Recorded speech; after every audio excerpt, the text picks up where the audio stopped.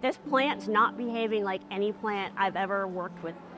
It was growing at one point 10 inches a day. That was not our educated guess. That was not the gambling that people are doing in the back. In the plant world, what happened last night usually takes three to four days. It happened in six hours. So it is going against every plant rule that we all know. This is Amorphos thallus titium, also known as the corpse flower. He is about eight years old. I got him from a seedling eight years ago at a conference as a plant swap. So a couple people have said it's the best swag from a conference you'd ever get, which in hindsight, yeah, it is.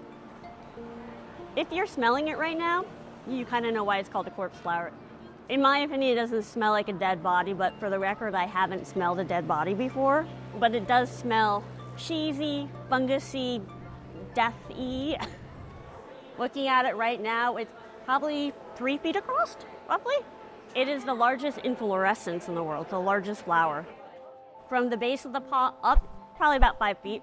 This is on the smaller side. Most of them are probably six, seven, eight feet. This is the spadix, so it's hollow and it feels like cork. This is the petal, if you will, and it feels similar to wilting lettuce right now. And then that down there is where the male and female flowers are, and the smell is coming from down there. The titans all come from Indonesia, Sumatra, Indonesia. They are endangered, so there's about a thousand roughly left in the native lands, mainly due to deforestation and palm oil production.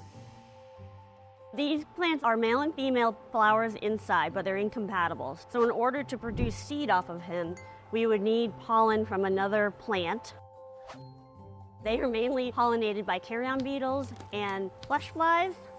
So this plant is intentionally trying to look like a dead animal. It is a perfect case of mimicry. And then it also smells so bad that all the carrion beetles and the flesh flies are like, yay, it's a dead animal, let's go after it. Birds and rhinos are also the two main seed distributors. Rhino, yep, we have different types of equipment going on here, collecting all the VOCs, all the volatile organic compounds, picking up all the smells. It has probably 10 or 12 different compounds of smells. One is, I think, cadaverine. The other one is putrescine.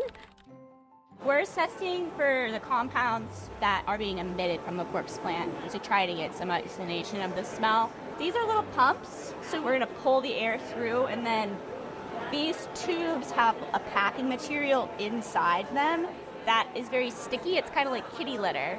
So compounds stick really well to the kitty litter, and then we can run it on an instrument in the chemistry department to get actual identifications.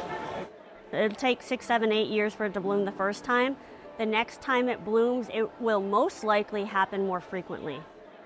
On average, they will rebloom every two to three years. They're really hard to propagate. Seed success is only like 50%. So it's conservation efforts in botanical gardens, conservation conservatories like this that really help maintain that collection. So just go to your local botanical garden, your conservatory, and really help them understand it more, help them contribute, help them share the information, and maybe that's how we can slow the decline down.